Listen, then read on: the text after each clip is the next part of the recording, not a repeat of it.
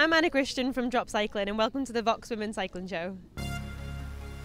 Coming up in this month's show, we catch up with all the action from the Sunshine State as the Women's World Tour hits the USA for the Women's Tour of California. We find out what race day entails for a soigneur with rally cycling. We have a fascinating chat with Lindsay Goldman, rider and team owner of Hagens Berman Supermint. But first, let's head to Belgium for the final race of the Ardennes Week, Liège-Bastogne-Liège. Heavy rain and wind greeted the riders on the start line of Liège-Bastogne-Liège, the third edition of the race. 138.5 kilometres lay ahead of the peloton, including five classified climbs and rolling hills all the way from Bastogne to Liège. Conditions were brutal, and as such, attacks were mainly neutralised. Urska Bravec of BTC City Ljubljana enjoyed a 30-second gap before she was caught on Côte de as Mitchelton Scott controlled the pace in the peloton.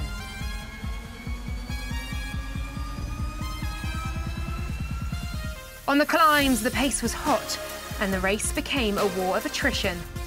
A tough comeback for Lizzie Deignan, the former world champion in just her third race since having a baby last September.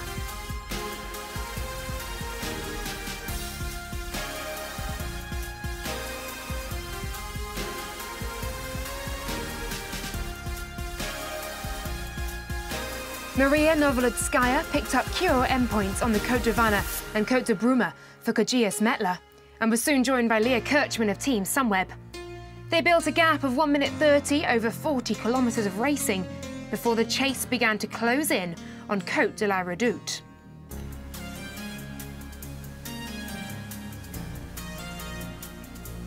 A crash brought down riders from Park Hotel Valkenburg and WNT Rotor Pro Cycling. The sun shone through the clouds as an elite group formed at the front, with the big names represented, including Annemiek van Vleuten, Ellen van Dijk, Kasia Niewiadoma, Alena Amialiusik and Demi Vollering. As riders soon struggled with the pace, world time trial champion and two times La Course winner Annemiek van Vleuten attacked solo on Côte de la Redoute. There was another attack from three dangerous riders, Elisa Longo Borghini and Lizzie Deignan of Trek Segafredo, and Annika Langvad in hot pursuit of Van Vleuten.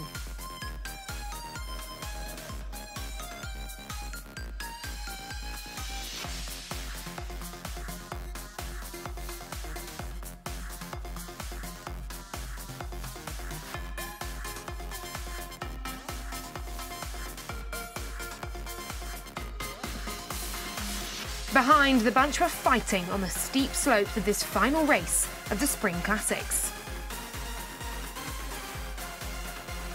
The trio of Deignan and Elisa Longo Borghini was soon caught by the chasers. But there was no doubt who the winner was. Annemiek van Vleuten, after 32 kilometres solo and with a gap of almost two minutes, took victory in Liège-Bastogne-Liège and moved into the lead in the UCI Women's World Tour rankings. Floortje Mackaij was second, Demi Vollering third.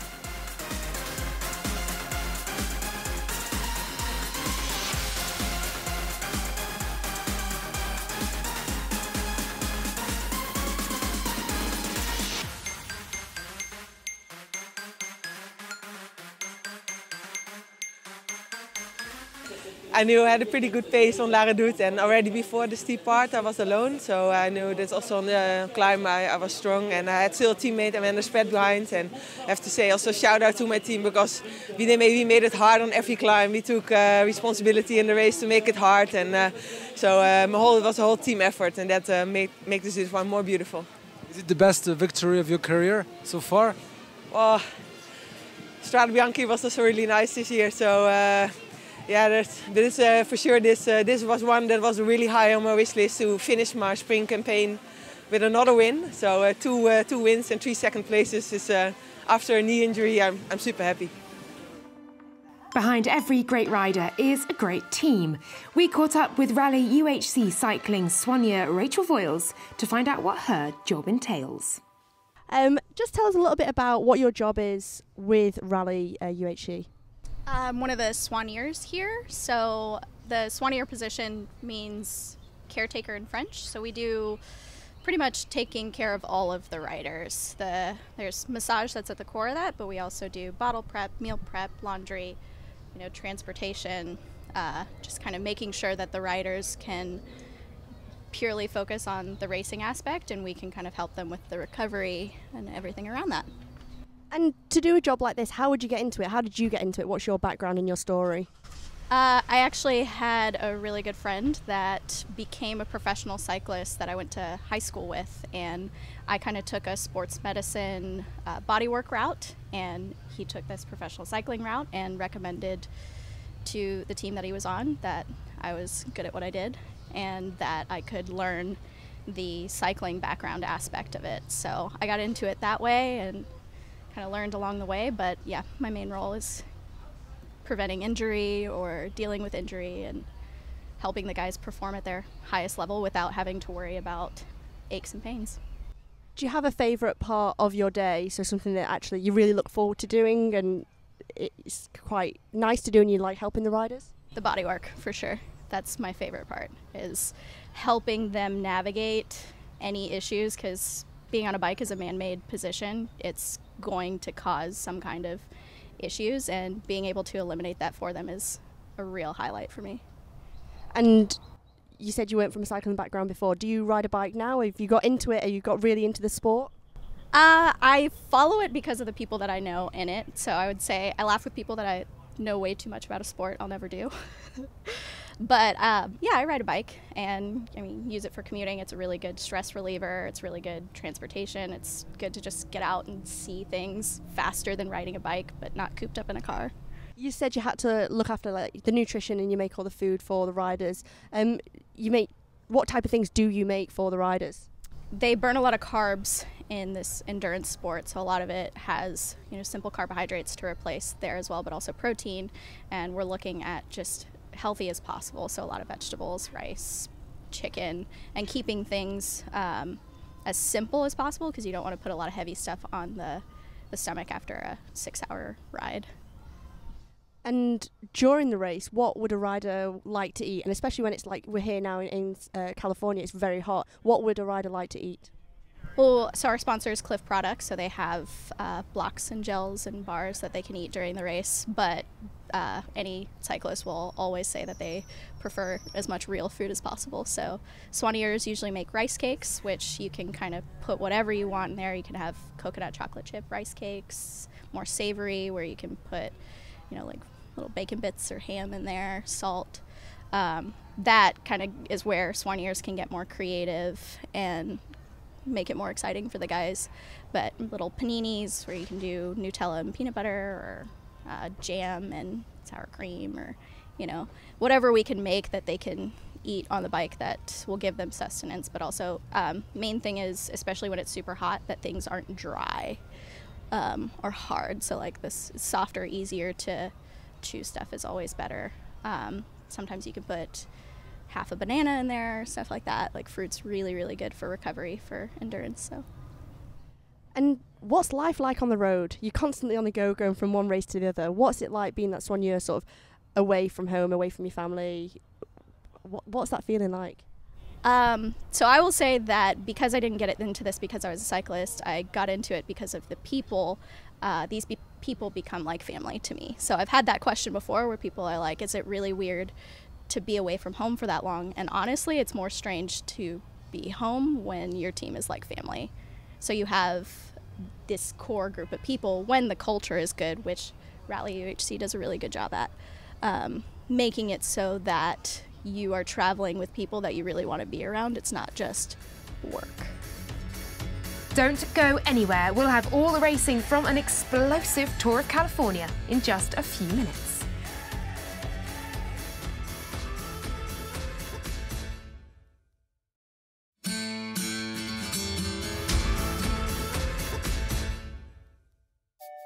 The World Tour headed to the USA for the Women's Tour of California, which for the first time was held in the southern state.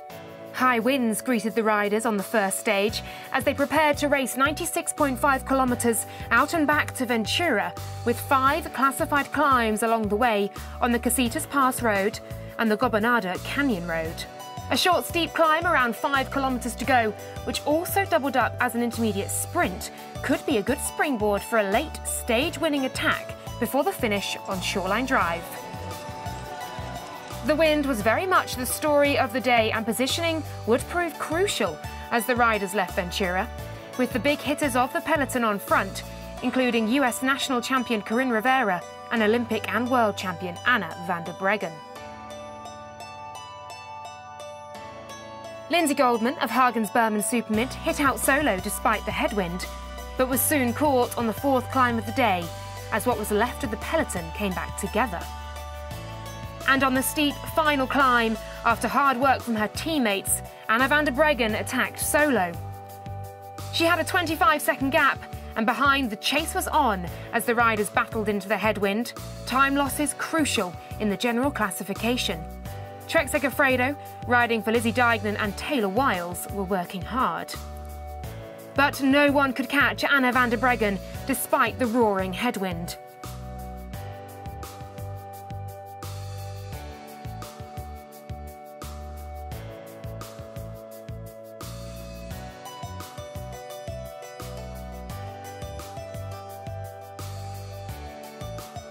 If one rider can win into such wind, you can bet on the Dutch superstar. The Queen of the Ardennes proved she had the form, the confidence, and the legs to claim victory on stage one of the Tour of California.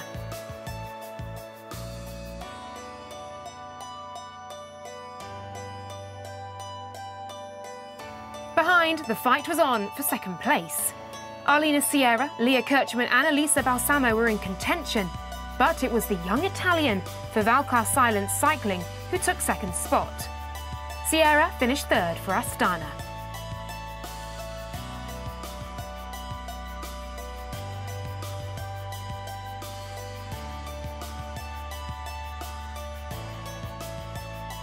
So Anna van der Breggen, Elisa Balsamo and Arlenis Sierra finish on the podium on stage one. And in the general classification, all the big players were still in striking distance, including Lizzie Deignan, Taylor Wiles, Kasia Niewiadoma, Ashleigh Moolman-Pasio, and defending champion and Van der Breggen's teammate, Katie Hall. Stage two would see the peloton take on the almighty Mount Baldy. Just 74 kilometres long, but with over 2,200 metres of climbing and maximum gradients of almost 17%, it was going to be a brutal and decisive day in the saddle. Racing from Ontario, the peloton would take on the intermediate sprint in Glendora, before the QOM climb, the Glendora Mountain Road summit. Then the climbing would really begin, on the slopes to the summit of Mount Baldy, a hors category climb. A nervous peloton set out from Ontario for a big day of climbing and a key day in the battle for the yellow leader's jersey.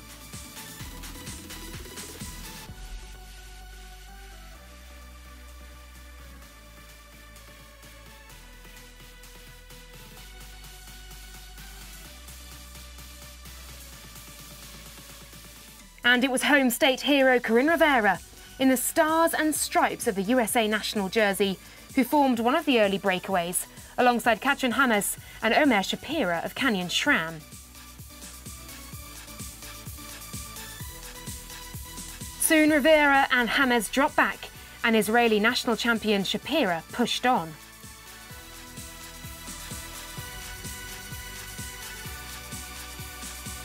But Katie Hall soon launched an attack that blew the race to bits in pursuit of lone leader Shapira. Hall brought teammate, the race leader, with her, and soon she and Van der Breggen passed Shapira and continued up the mountain, putting in more distance to the chasers behind, including Ashleigh Moolman-Pasio.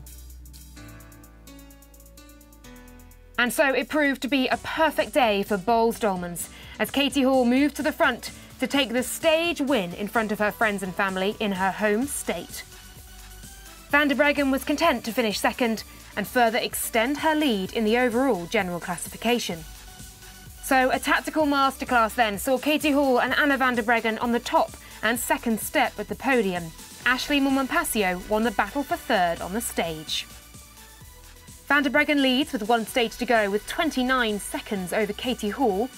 Ashleigh Moolman sits 106 back for CCC Liv, while Clara Koppenburg and Kasia Niewiadoma make up the top five. After a great solo ride, Omer Shapira jumps to eighth.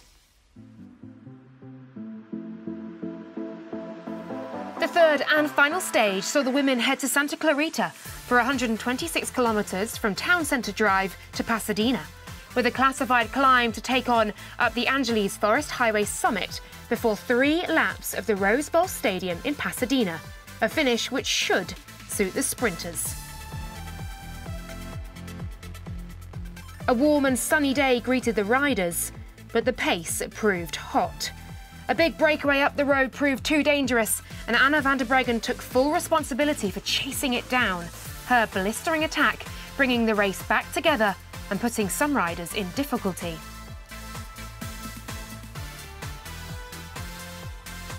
Jennifer Lubecka of Show Air 2020 attacked from the group and brought Katrin Hammes with her. But van der Breggen appeared to have everything under control. Hammes was joined out front by Paulina Ruakas, and they entered the finishing circuit at the Rose Bowl Stadium together.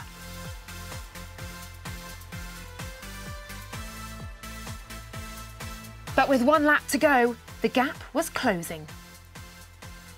Before long, Italian champion Annalisa Balsamo's Valcar Cylance cycling teammate Marta Cavalli and Olga Zabelinskaya joined the duo up the road.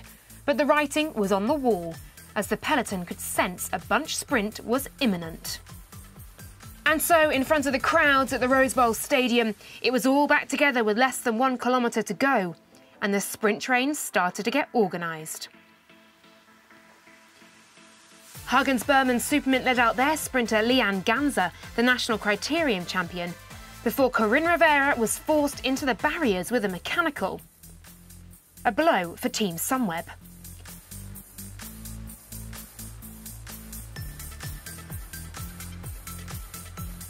Ganzar led it out. Chloe Dygert Owen gave it a dig, but Elisa Balsamo would not be beaten.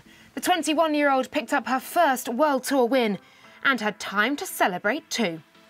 And look how much it meant to her Valcar Cylance cycling teammates. Arlenis Sierra got her second podium of the race, finishing second. Leigh Ann Ganzar finished third. And in finishing safely in the bunch, Anna van der Breggen wins the Amgen Tour of California women's race for a second time by 29 seconds over Boels Dolman's teammate Katie Hall. Ashleigh Moolman picks up another World Tour podium with third.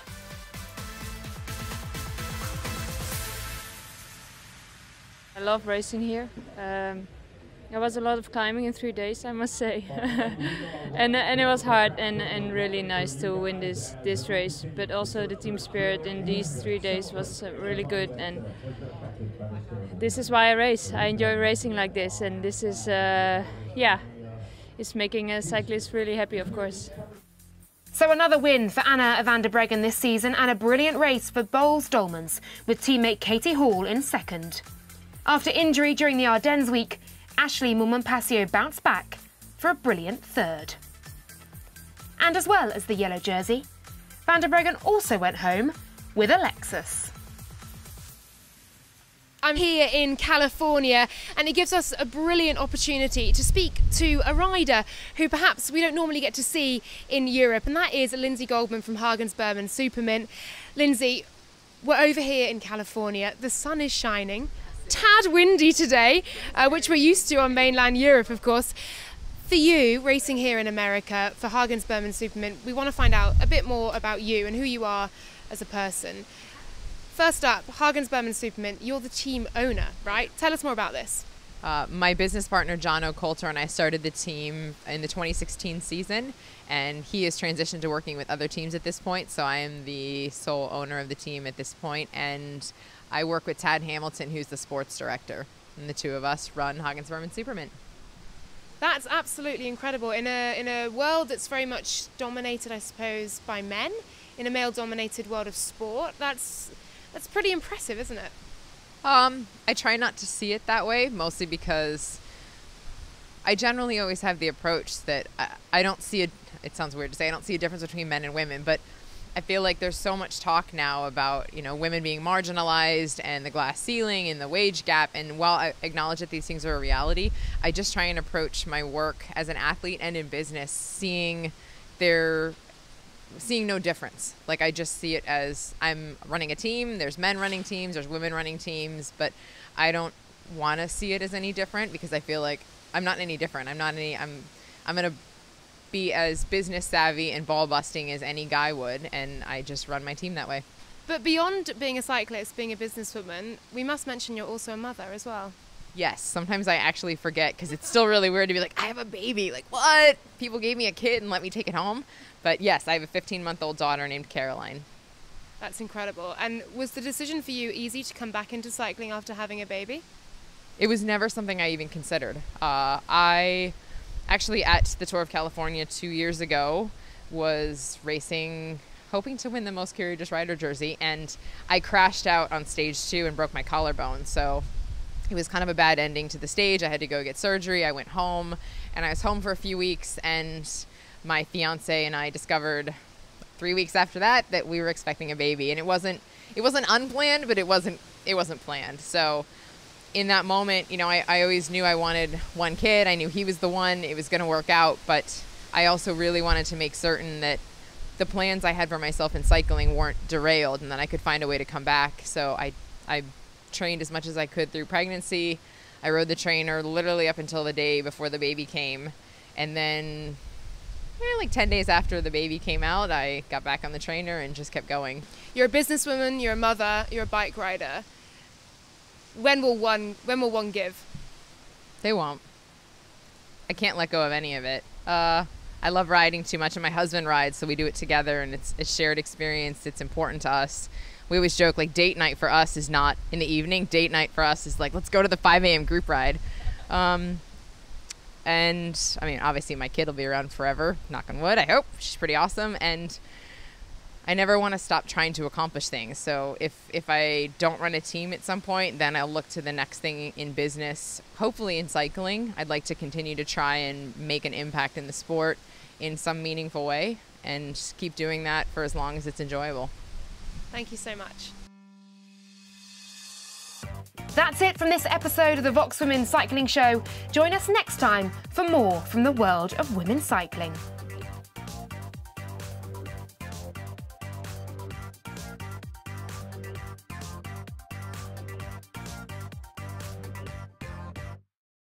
Thank you for watching the Vox Women's Cycling Show.